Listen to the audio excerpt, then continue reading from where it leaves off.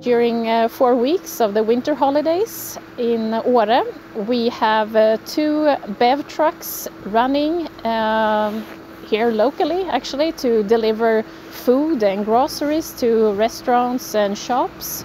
We have used the Scania mobile charging unit with a Northvolt Voltpack system uh, to be able to, um, to electrify transports where the grid capacity is limited or where charges are uh, missing actually. The benefits for Scania using the um, Northvolt Voltpack mobile system is that we can use it in a mobile way and uh, put it in different places where we have different uh, demo activities. Uh, where there is a lack of grid capacity or a lack of chargers for our heavy trucks.